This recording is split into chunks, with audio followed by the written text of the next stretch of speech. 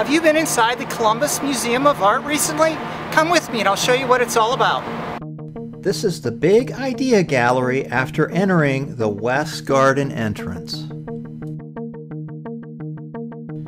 This is the Innovation Lab and the Wonder Room.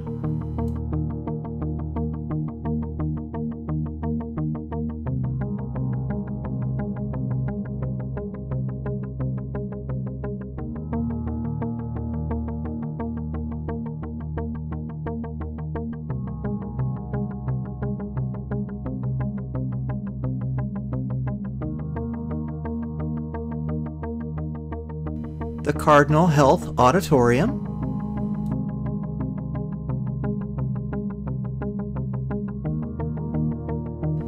This is the Forum Room.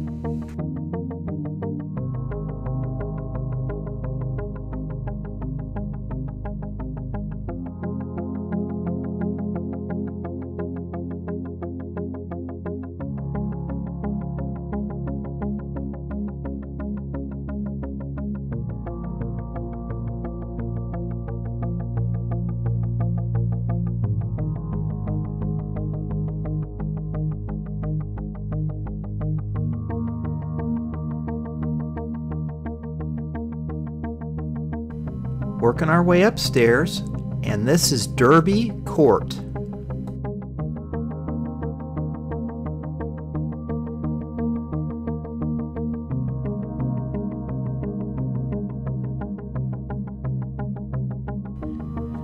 The current building opened on January 22, 1931, and there is an expansion going on as the number of galleries has not changed over time but the number of exhibits has steadily increased. The museum had historically focused on European and American art up through the early modern period, but in recent years has branched into more contemporary art exhibits and the permanent photography collection. The museum also features an outdoor sculpture gallery, a cafe, and I Spy Adventure in Art, an interactive exhibit tailored towards educating young children.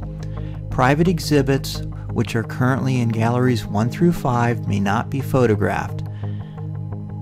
The current focus is on Imagine, the art of the picture book, now through November 9th. As a reminder, it is free on Sundays.